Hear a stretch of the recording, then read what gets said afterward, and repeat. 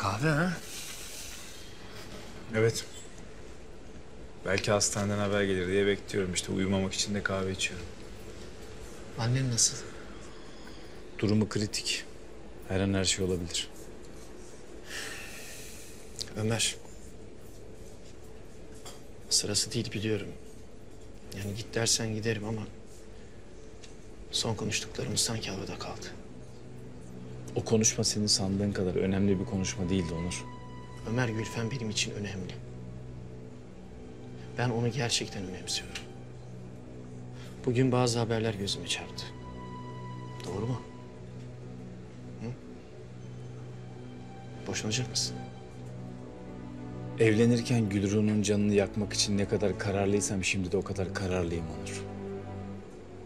Bu evlilik başından beri planlı bir evlilikti. Aşk değil, nefret evliliği. Yani şimdi Gülru'ya olan nefretimin bir anlamı kalmadı. Evet boşanıyorum. Dahası da var. Dahası. Ben gidiyorum Onur. Ben Amerika'ya geri dönüyorum. Amerika'ya mı dönüyorsun? Yani annenin durumu değişir değişmez.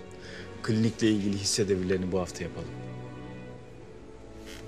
Yapma Ömer ne alakası var şimdi? ya? Ne kliniği Allah aşkına? Sen hayatının kararını verdiğinin farkında mısın? Bunu daha önce de denedim ama yapamadım. Neden kaçıyorsun Ömer? Ben kaçmıyorum. Ben ne Gülru'nun aşkından, ne annemin bencilliğinden, ne de Gülfem'in acımasızlığından kaçıyorum. Ben onları terk ediyorum Onur. Sen terk ediyorum de, ben kaçıyorsun diyeyim. Sonuç aynı değişen bir şey yok. Burada yaşadığın her şeye arkana dönüp gideceksin. Ama hiçbir şey arkanda kalmayacak Ömer. Sadece yarım kalacak. Ben kalkıyorum Onur. Kalkıyoruz ha.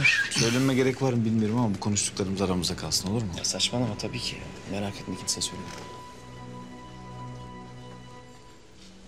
Ömer. Seninle biraz konuşabilir miyiz lütfen? Ömer, Gülfem zorlama. lütfen karışma. Faydası yok Gülfem. İstersen buna ben karar vereyim ha? Kalbini daha fazla kırmaktan başka hiçbir işe yaramayacak. Tamam. Beni durdurdun. Sözünü dinledim. Çocukça aranızda neler konuştunuz demedim. Ama Ömer'in aklından neler geçiyor bilmek zorundayım. Sence bilmiyor musun? Neden bahsettiğimi gayet iyi biliyorsun. Beni durdurduğuna göre bilmem gereken bir şeyler var. Bugün sekreterim magazin sitelerine düşen haberleri gösterdi. Ve sen hala ne bilmen gerektiğini düşünüyorsun. Bak. Ben Ömer'i senden daha eski ve daha iyi tanıyorum. Ömer şu an ilk kez bu kadar öfkeli. Ve sadece öfkesini yaşıyor. O açıklamayı sırf sırf beni üzmek için yaptı. Böyle olsun isterdin değil mi Gülfem? Ne yaparsa senin canını yakmak için yapmasını isterdin.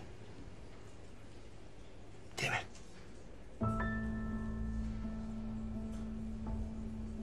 Bu gece seninle konuşmak hiç iyi bir fikir değildi. Benden kaçmak kolay ama gerçeklerden böyle kaçamazsın Gülfem. Ben seninle gerçekten konuşmak istemiyorum. Tıpkı seninle evlenirken yaptığı gibi. Ömer sadece Gülru'nun canını yakmaya oynuyor. Seni üzmek umurunda bile değil. Amacı sen değildin. Hiçbir zaman da sen olmadın Gülfem. Onun derdi Gülru'yla. Öfkesi de acısı da nefreti de sadece ona ait, sana ait değil. yapmaya çalışıyorsun sen? Üstümde bir çeşit deney falan mı? Ben Ömer'le evlenmeme rağmen onu aşmıştım. Ömer, Ömer'e olan duygularımla da senin yüzünden yüzleştim. Bana istediğin kadar kız. Ama kendine bunu yapma Gülfem, lütfen. Kendini seni sevmeyen bir adama daha fazla kırdırma. Çok geç.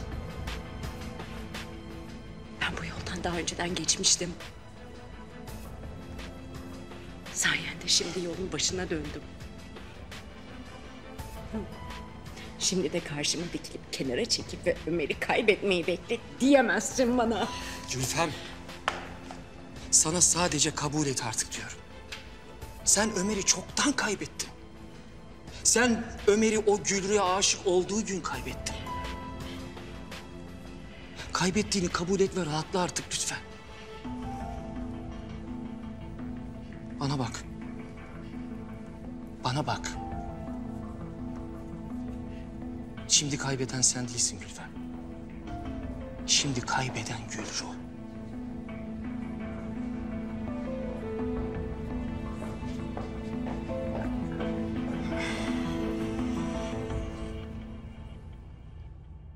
Kanalımıza abone olarak tüm videolardan anında haberdar olabilirsiniz.